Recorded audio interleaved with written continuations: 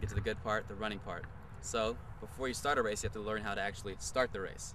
So we're gonna learn the starting position.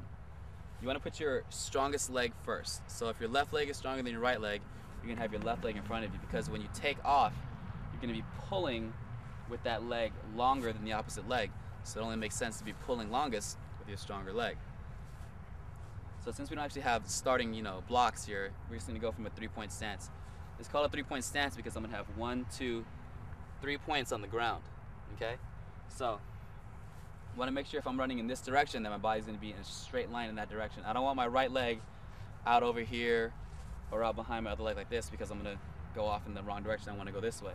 So everything's gonna be nice and aligned. So if I was standing up straight, I would just bring my right leg behind me.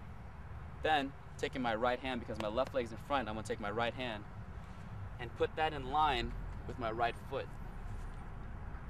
So, having a nice bend in the left leg, maybe close to 90 degrees, you know, a slight bend in the in the right leg, you know, whatever really feels comfortable. Keeping my left arm up above my body, because I'm gonna use that as I come up to drive. So if I have my left arm down, I'm not gonna be able to really drive as much as if I have my left arm behind me to really get that nice long drive, okay?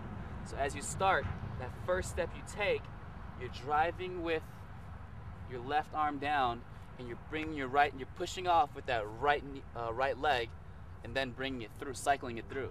So slowly it's gonna look like that. That's what your first step's gonna look like, okay?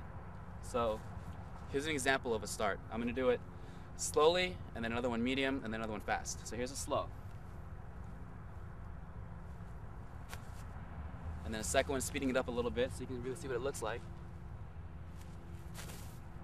It's almost, it almost looks like I'm jumping out because you're exploding out of that spot, that, out of that spot position.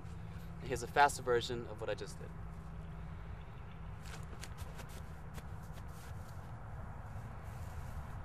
And that's starting.